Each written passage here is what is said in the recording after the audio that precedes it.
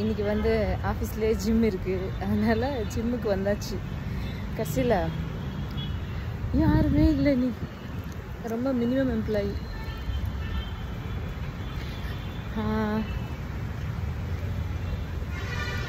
First நம்மளுடைய ரொம்ப பெரிய ஒரு பெஸ்ட்டான பார்ட்னர் யார் அப்படின்னா நம்மளுடைய ஹெல்த்து தாங்க.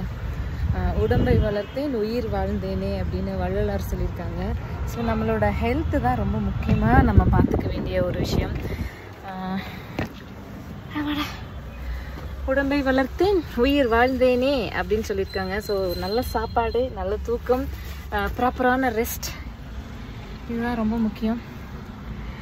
அண்ட் மினிமமான எக்ஸசைஸ் ரொம்ப ஹெவியாக பண்ண வேணாம். இடையில நான் வந்து வந்து கொஞ்சமாவது பண்ணலாம். பாடி பில்டிங்காவது பண்ணுவோம் அப்படின்லாம் யோசித்தேன் பட் என்னோடய ஒர்க் டைமிங்ஸ் வந்து என்னால் ஃபாலோ பண்ண முடியல.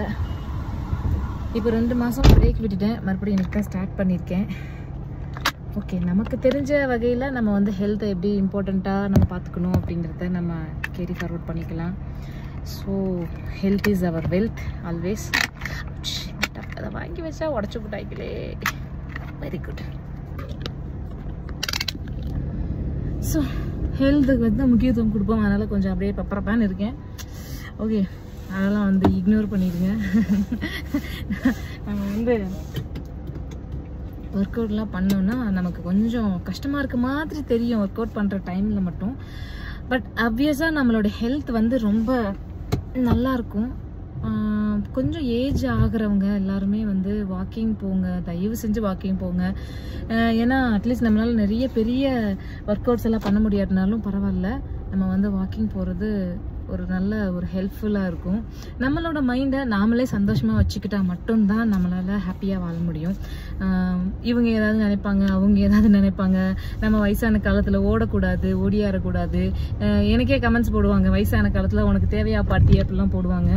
நான் வந்து கடைசி வரைக்கும் யார் தயவும் இல்லாமல் ஆரோக்கியமாக வாழணும் அப்படின்னா என்னுடைய ஹெல்த்தில் நான் இம்பார்ட்டன்ஸ் கொடுக்கணும். அதே மாதிரி ஒரே மாதிரியான லைஃப் ஸ்டைலை ஃபாலோ பண்ணோன்னா நம்ம த்ரோ அவுட் மெயின்டைன் பண்ண முடியும். அதை விட்டுட்டு ஆஹ் நமக்கு தெரிஞ்ச மாதிரியெல்லாம் எல்லாம் நல்லா சாப்பிட்டு சாப்பிட்றது நல்லா தான் இருக்கும். ஆனால் நல்லா சாப்பிட்டு நல்லா தூங்கி அது சுகமாக இருக்கும் ஒவ்வொரு நாளும். அதையே பண்ணிட்டு இருந்தோம் அப்படின்னா ஹெல்த் பயங்கரமாக ஸ்பாயில் ஆகும். அப்போ ஒரு ஸ்டேஜுக்கு அப்புறம் நமக்கு வந்து உட்கார முடியாது நிற்க முடியாது. குறிப்பாக நம்ம இடுப்புல எல்லாம் பெயின் ஆகும். அப்புறம் வந்து கால் ஜாயிண்ட் இடுப்பில் ஜாயிண்ட் ஆகிற இடம் பெயின் ஆகும். இது மாதிரி நிறைய டிஸ்கம்ஃபர்ட்ஸ் நம்மளே வந்து ஃபேஸ் பண்ண ஆரம்பிப்போம். அந்த மாதிரி ஃபேஸ் பண்ணதுக்கப்புறம் டாக்டர் கிட்ட போய் அதுக்கு ட்ரீட்மெண்ட் எடுத்து அவங்க வந்து நல்ல டாக்டர்ஸ் இருக்காங்க. சில டாக்டர்ஸ் வந்து அவங்களுக்கே அது என்னன்னே தெரியாது.